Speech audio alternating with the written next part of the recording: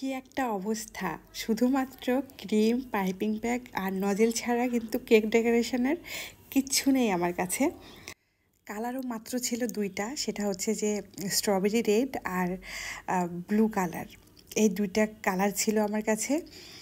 মানে কেক দুটো করতে এসে মনে হয়েছিল যে মানে তিন বছর আগে যেভাবে আমি কাজ শুরু করেছিলাম, সেই লাইফে ফিরে গেছি, এরকম মনে হচ্ছিল।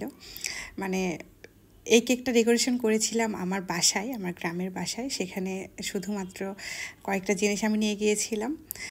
দুই দিন থেকে ছিলাম আর দুই দিনে দুইটা কেক মেক করেছি। আর তার মধ্যে এটি ছিল একটি। তো কোনো রকম একটা ফিনিশিং দিয়ে এবার কালার মিক্সিং করব। আর ব্যবহার করা যে জিনিসপত্র দেখছেন, এগুলো কিন্তু আমি এখানে রেখে যাই। মানে আমার বাসায় আমি এগুলো মানে এক্সট্রা রেখে দিছি। তাই একটা ব্রেড নাইফ এটা বাসাতেই ছিল এটা দিয়ে ফিনিশিং দিয়ে নিলাম। তো হচ্ছে আমি পার্পল কালার করতে চেয়েছিলাম, কিন্তু ব্লুয়ের পরিমাণটা একটু বেশি হওয়াতে এরকম একটা কালার চলে আসছে, যদিও এটা আনএক্সপেক্টেড কালার ছিল। তো একটা বাস্কেট নজেল নিয়ে নিয়েছি।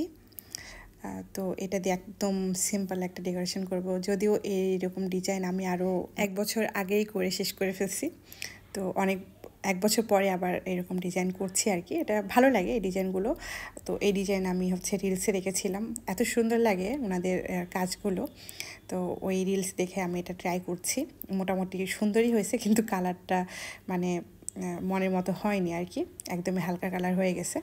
তো এবার হচ্ছে পাইপিং ব্যাগ দিয়ে ব্লু কালার দিয়ে এরকম ডট ডট করে দিচ্ছি। এখানে চেরি টেরি বানাই দিলেও মনে হয় ভালো লাগতো। তো ওই যে নজেল নেই কাছে এই জন্য পাইপিং ব্যাগ দিয়েই মানে করে দিচ্ছিলাম এভাবে। তো এটা দিয়ে অনেক বেশি সুন্দর লাগছিল। তো হচ্ছে নিচেও কয়েকটা এভাবে ডট ডট করে দিচ্ছি। তো জানি না এই ডিজাইনটা কতটা মানে প্রফেশনাল হয়েছে আর কি, আর আমি নিজেকে প্রফেশনাল বলে দাবিও করছি না। কারণ আমার এখনও অনেক বেশি শেখার বাকি রয়ে গেছে, যেমন আমি কেকের মধ্যে ভালো লিখতে পারি না। তো আজকে একটু ভালো হয়েছিল লেখাটা এই জন্য আমার খুব বেশি খুশি খুশি লাগছিল, কেন জানি। এর মধ্যে কয়েকটা সুগার বল দিয়ে আমি আমার কেক ডেকোরেশন শেষ করে ফেলছি। এই সিম্পল ডেকোরেশনটি আপনাদের কাছে কেমন লেগেছে, অবশ্যই কিন্তু আমাকে কমেন্ট করে জানিয়ে দিতে ভুলবেন না। সবাই অনেক বেশি ভালো থাকবেন। আল্লাহ হাফিজ।